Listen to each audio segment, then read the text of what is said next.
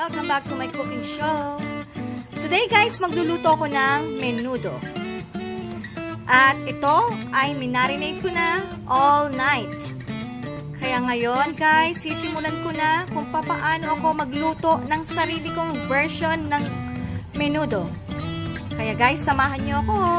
Sir na ako mantika sa ating kawali. Ang una nating iuhulog ay ang ating bawang.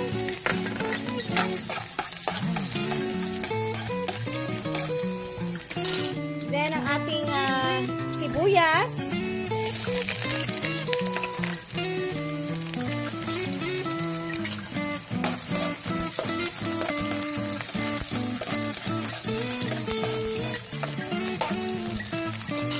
Then, ang ating kamatis. Naglalagay ako ng kamatis sa ating minuto, guys.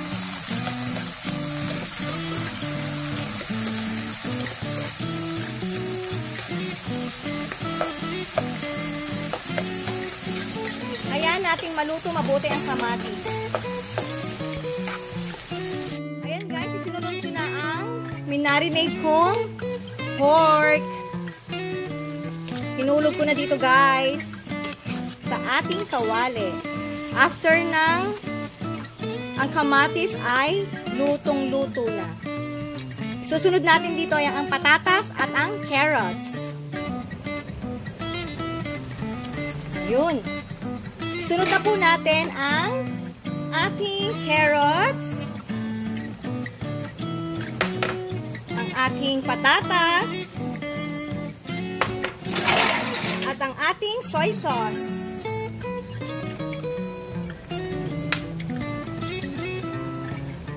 Hayaan lang natin to guys, ma-absorb ang mga flavors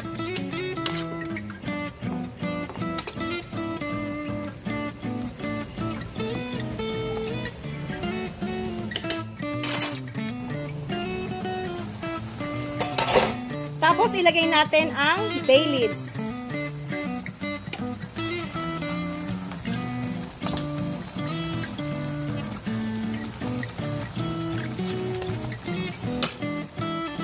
At takloban muli natin, guys.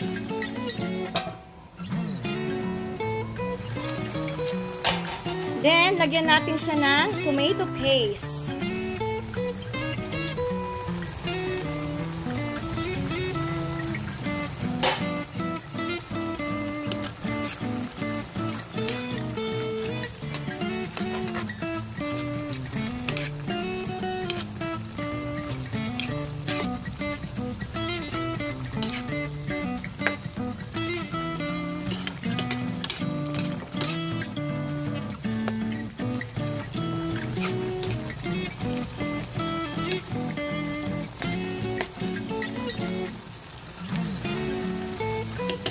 Continue to simmer until the pork is tender.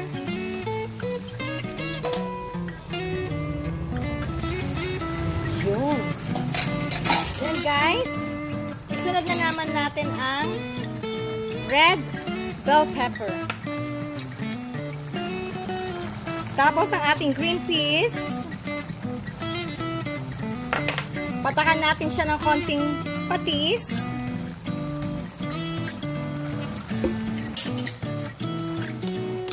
At halo-haloin natin to guys.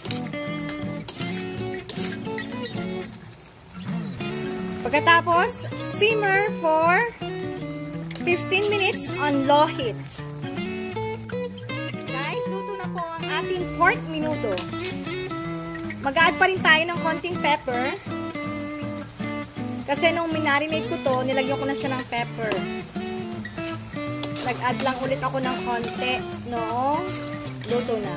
Kaya guys, ito po ang aking pork menudo. Hanggang sa susunod po muli ng aking cooking show. Bye guys!